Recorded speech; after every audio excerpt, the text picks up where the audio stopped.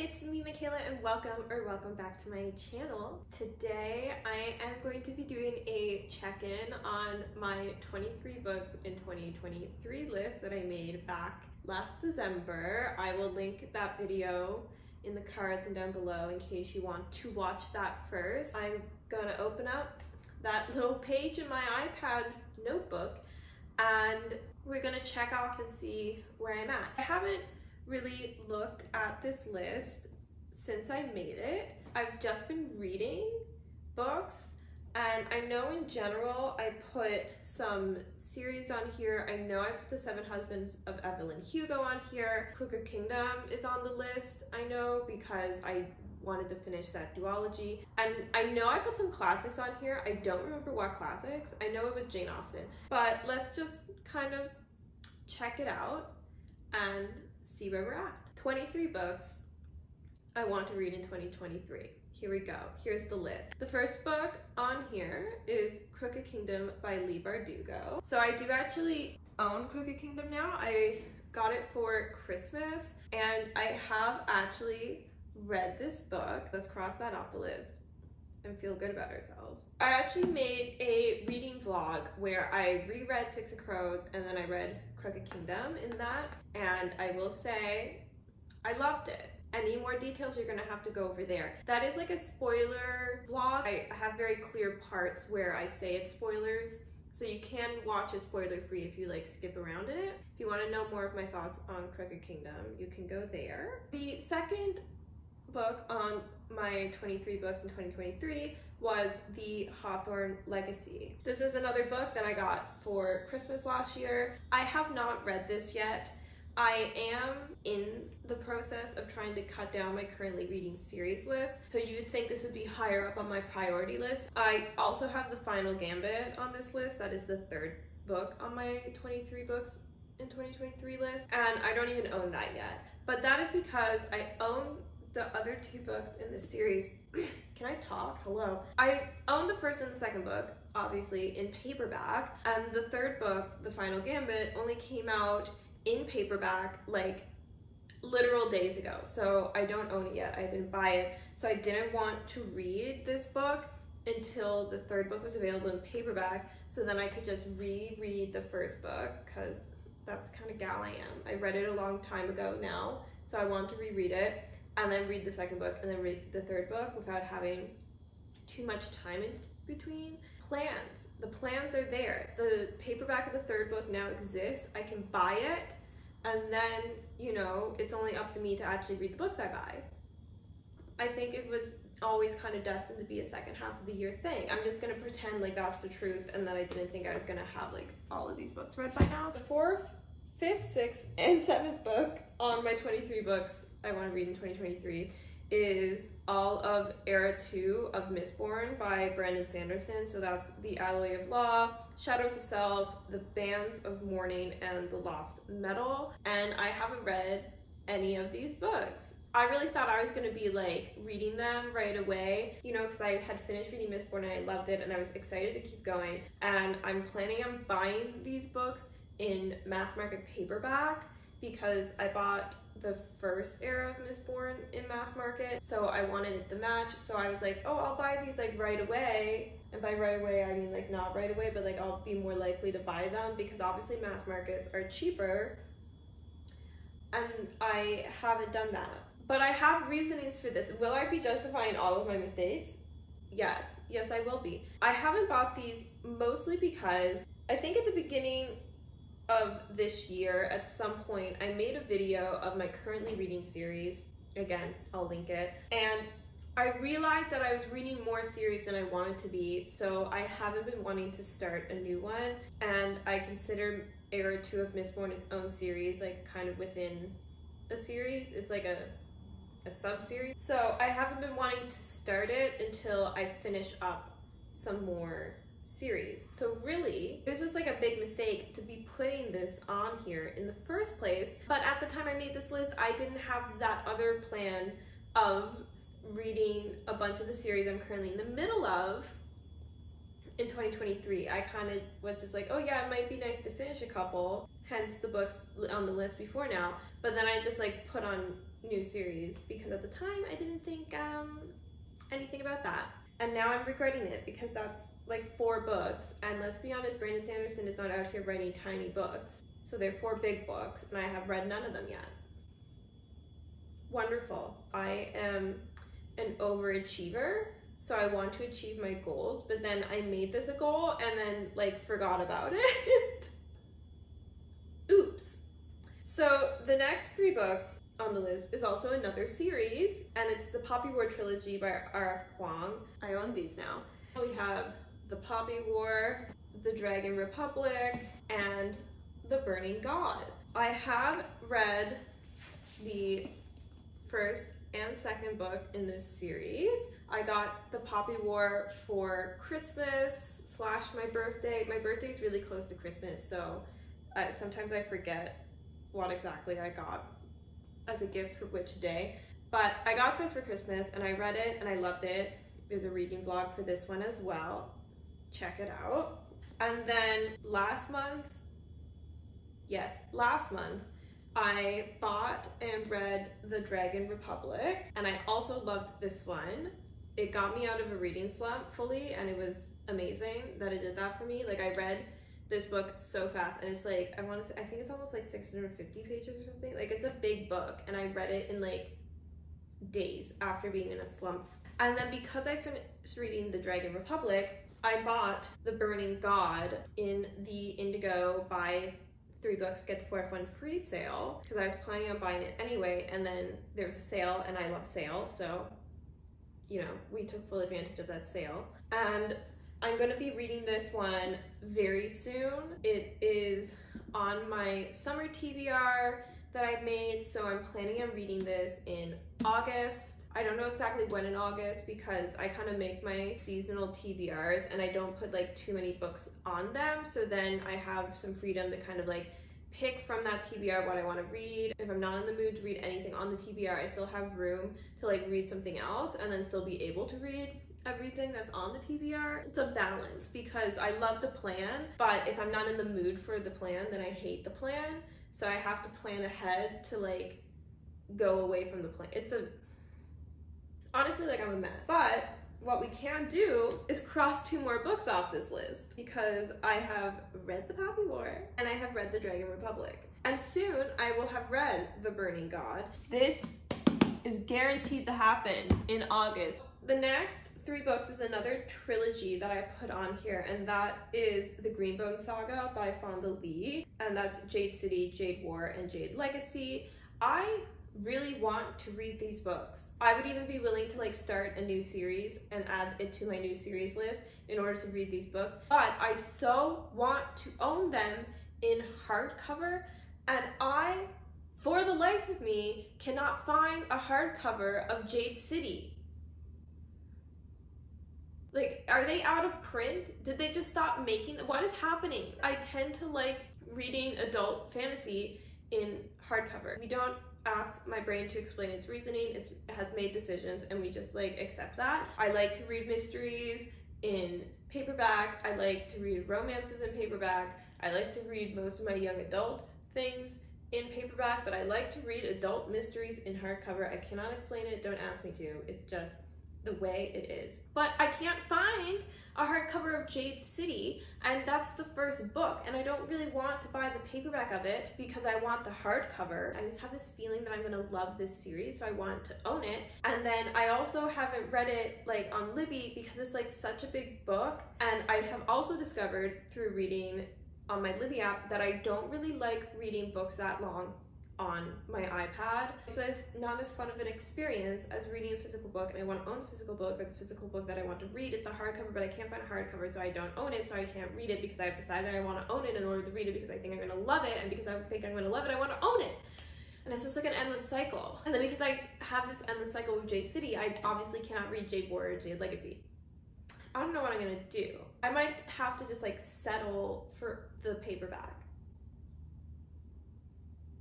let's just move on, okay? We're just, whew, we're fine, we're moving on. So next I have Babel by R.F. Kuang. And this book, I don't own it, but it's quite possible that I could read it because my sister owns it and I'm planning to go visit her for Thanksgiving. And I wanted to read Babel after I read the Poppy War trilogy and I'm about to finish the Poppy War trilogy. So if I continue my plans as I have planned them, I will read The Burning God in August and then when I go out in October, I can borrow Babel from my sister and then I can read Babel and then I can off the list.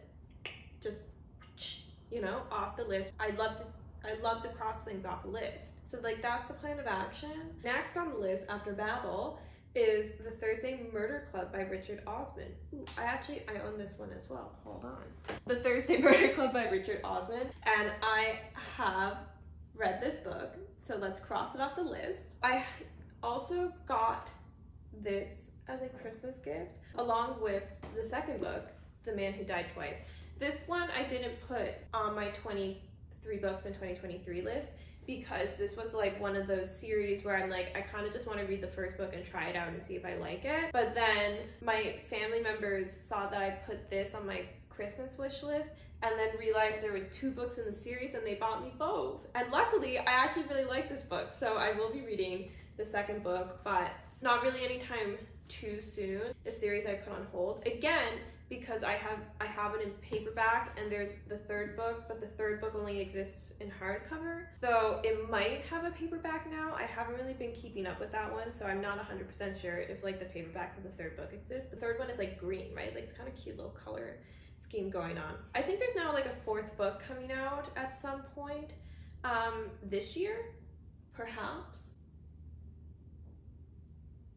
Perhaps for what the topic of this video is, if we want to just, you know, leave that tangent behind, I have read The Thursday Murder Club, and that was the book that was on the list, so lovely. Next, I have on here book number 16, in case uh, you haven't been counting. I doubt you have been counting. I haven't been counting. But the 16th book I put on my 23 books in 2023 is The Bromance Book Club by Lyssa Kay Adams. This is another series that I wanted to try reading. I haven't, I think at this point, I hadn't read any contemporary romances and I was a little like wary about them. They didn't, the concepts of them didn't appeal too much to me, but I did read the concept of the Bromance Book Club and it sounded amusing and intriguing to me. So I thought I'd put the first book in the series on my 23 books in 2023 and see if I like it. And guess what? I have read this and I did like it, and I have actually now read the first three books in the series this year. Cross another one off the list. 17th on the list was Circe by Madeline Miller, and this is a book that I do not own and I have not read, and I currently don't have plans for reading because I forgot I put this on my list of as a book I wanted to read this year. I did read Song of Achilles. I own Song of Achilles. I'm looking at it on my bookshelf, but I don't want to get up and grab it because I feel like I've already gotten up to grab things enough today, and um, I really want to do more of that. You have seen Song of Achilles by this point. You know what it looks like. But I have read Song of Achilles, and that's why I put Circe on this list. But I forgot that was an action and a choice that I had made. So I don't know what I'm gonna do about that. But a book I did remember that I put on this list is The Seven Husbands of Evelyn Hugo. Look, I even have ready to go because I actually remembered that I put this book on this list. And so I finally bought this book again in that lovely buy three books get the four free sale because it just justified me buying four books in one go for once. I'm kind of more of a like buy an individual book at a time kind of person. I don't know why I do that, but I very rarely buy like multiple books. I just don't tend to buy multiple books at a time. Possibly because books are just expensive in Canada. Tell me why books are being so expensive here. I don't like it. Anyway, back to The Seven Husbands of Evelyn Hugo by Taylor Jenkins Reid, by the way, um, in case you can't can't read that right here. But yeah, I am jumping on the bandwagon of Taylor Jenkins Reid extremely late. But this is a book that is also on my summer TBR. Why am I holding the book like this? That's such a, I, don't know why I was holding a book like that. That's so weird. But I did also put this book on my summer TBR, so I will be reading it soon, possibly next. I, this might be like my first book in August, because I feel like that could be fun. That could be a beginning of August experience for me. Oh my god, I've never told you this, but this has been like the event of my life for the past like two weeks is that I ordered a chair for my balcony and it looks like it's gonna be so cozy and like so perfect to like just get all cozy in and read a book. It's supposed to be arriving on Monday and I'm so excited. And that means that like at the beginning of August, because Monday is the end of July. So at the beginning of August, I will have this chair like in my possession. Like I'll have to build it, but I will have the chair and that means then I can read in the chair. And then I think this would be a good book to be like the first book I read in my chair. I will be reading this book, have not read it yet, but I own it. And that's a really good first step for me because there's a lot of books on here that I just don't own. But I will be reading this. I'm excited for it. I've heard such good things. And I also think it's just a gorgeous book. Fingers crossed that I'm a Taylor Jenkins Reid girly because like that's like who I want to be. Like I, I, I want to be someone who loves Taylor Jenkins Reid books, but I haven't read any, so I don't know if that's me or not. The next book I put on my 23 books in 2023 list is Notes on an Execution by Danya Kukafka. I have not read this book. I also forgot I put this book on this list, but I'm now remembering why I put it on this list because every time I've seen anybody mention this book or have read this book, they said it's amazing. So I want to read it. And I feel like it's kind of something that I don't often read, like genre wise. It's not really something I gravitate towards. And I would like to kind of like branch out my reading more. I do tend to read like a lot of fantasy, especially. And I would like to read some more things that are not fantasy. One, to like just have a broader extent and genres and topics and types of books that I've read on my shelves, that I know about, that I'm aware of, that I've, you know, like all of those lovely things to be like well read and well versed and well knowledgeable. Wait, well knowledgeable is just definitely not a term. Clearly, I'm not well knowledgeable. But yeah, so I feel like that could be a very like switch it up good read. The last four books that I put on this list were classics.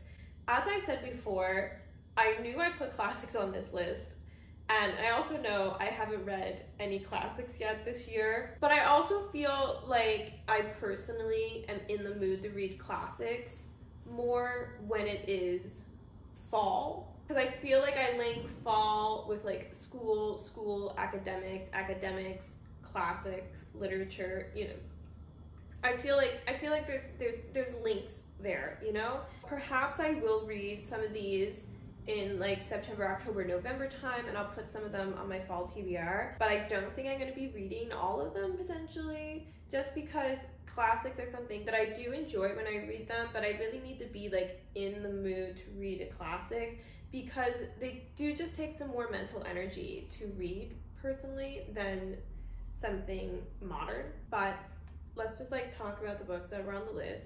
Heads up, spoiler, I haven't read any of them. We have Dracula by Bram Stoker.